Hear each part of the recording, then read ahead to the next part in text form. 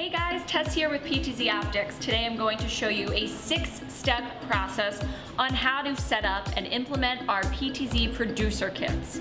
So step number one, the host and heart of our producer kits is this bad boy here, the Intel Skull Canyon NUC PC. Everything's gonna be based off of this device, so we're going to plug USB, power, HDMI, I'll show you. We have power here and we have two monitors plugged in, one DisplayPort to HDMI and one HDMI directly into the monitor. Next I'm just going to plug in my uh, USB extension hub into one of the two USB ports on the back of the Skull Canyon. You'll see you have another one up front as well. The back has two USB ports, one display to HDMI port extension and an HDMI extension, mini HDMI port, and finally, of course, we're going to need internet right here. So now we have power, internet, USB control, and Thunderbolt. Let's power her on. Okay, so now it's time to move on to step two, which is bringing our cameras into the PC. So we have a 20x SDI PTZ Optics camera, and I have it already mounted to a simple um, tripod mount here. I'm going to mount that to the tripod right now before we uh, power on the cameras. The producer kits come with a Magewell capture card and that's how we're going to turn SDI into USB to bring into the PC. So the producer kits come with 100 foot of SDI cable. We're using 50 foot today for convenience purposes. Going to bring that into the back of the camera here.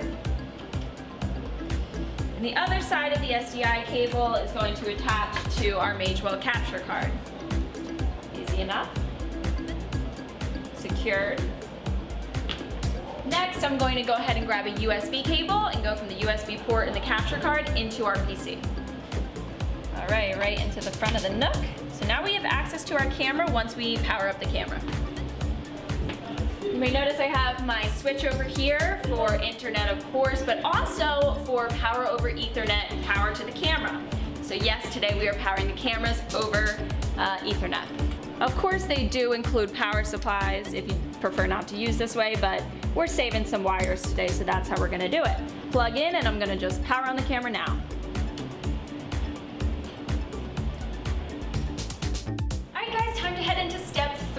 Which is the RS232HC joystick. This is how we're gonna control our cameras today. Couple steps in getting this into the camera.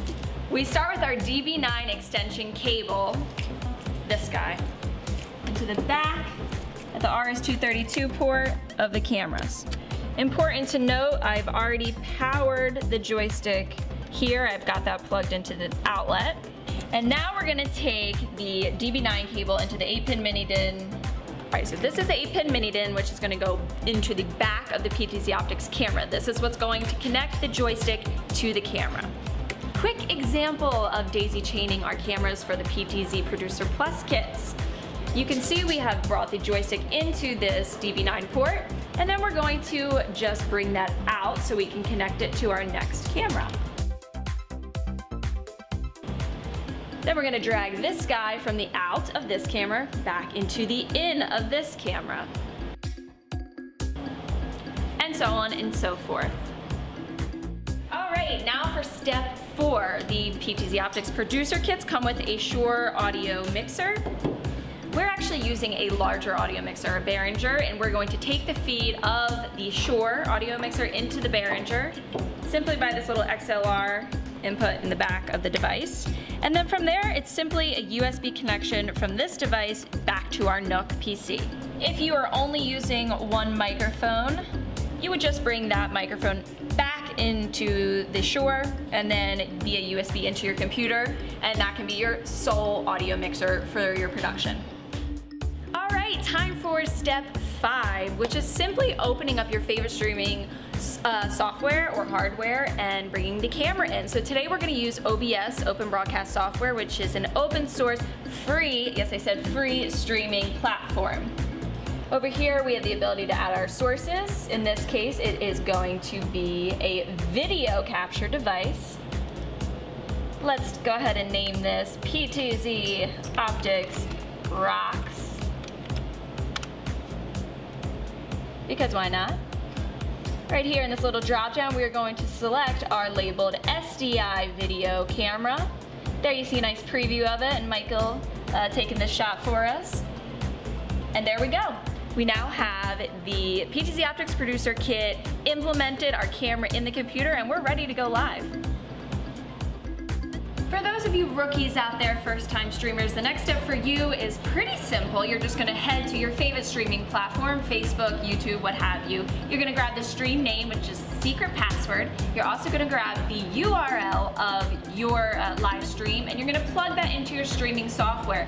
With platforms like OBS, um, you can actually log directly into your YouTube or Facebook um, to go live. For those of you lucky Producer Plus kit owners, if you have two or more PTZ Optics cameras in your producer kit, there's one extra step for you. This is going to be our Producer Plus box. This is going to allow you to add 3G SDI up to four cameras into your computer, all via your Thunderbolt included cable. And if you remember from earlier in the video, there is a Thunderbolt port on the back of that Intel Skull Canyon NUC.